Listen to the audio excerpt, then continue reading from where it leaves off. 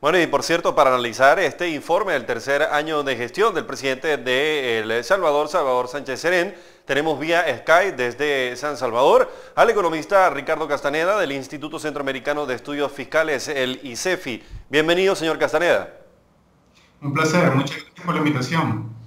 Vamos a tocar con usted el tema económico, ¿no? Dista mucho de la realidad de la economía actual que el presidente presentó con estas cifras y las que ustedes manejan en un informe que recientemente también han presentado.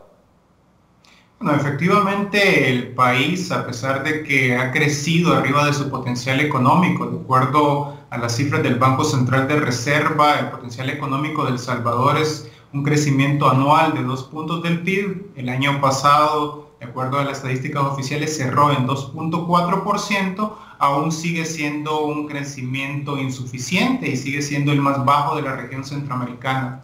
Además, nos preocupa en el tema económico que la pobreza extrema se haya incrementado, así como el porcentaje de personas ocupadas que tienen un salario inferior a la línea de pobreza nacional. Por lo tanto, creemos que el modelo económico que se ha venido implementando en las últimas dos décadas y que este gobierno ha continuado realizándolo está caducado. Es fundamental la necesidad del tema de transformación productiva, de generación de empleo, pero que estos empleos se traduzcan en ingresos suficientes para que las personas puedan salir de la pobreza.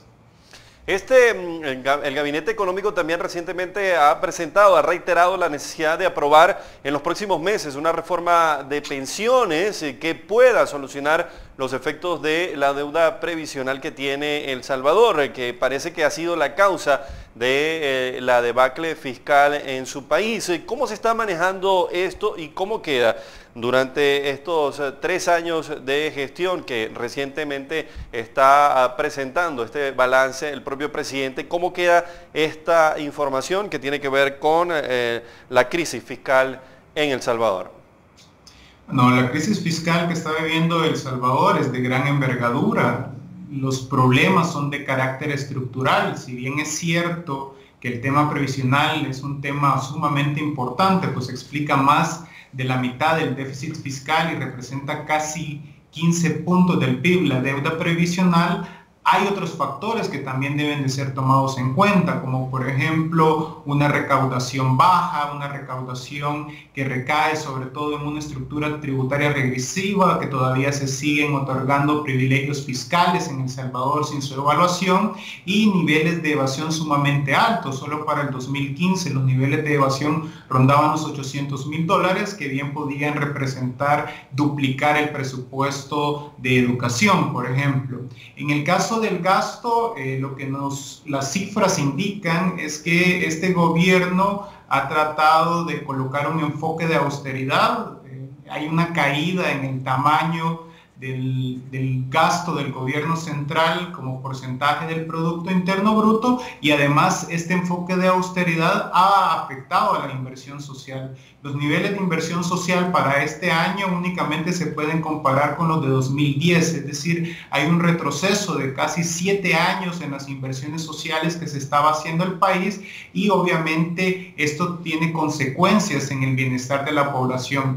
Por eso nosotros desde ICEFI hemos insistido, insistido en distintos momentos de que El Salvador debe de alcanzar un acuerdo fiscal integral en el que es necesario dotar de más recursos a la administración pública con sentido de progresividad, pero que también es necesario eh, que los presupuestos públicos presenten los resultados. Además, es fundamental impulsar una agenda de transparencia y obviamente hay que resolver el tema previsional, pues como decía, es uno de los talones de Aquiles para la administración pública salvadoreña.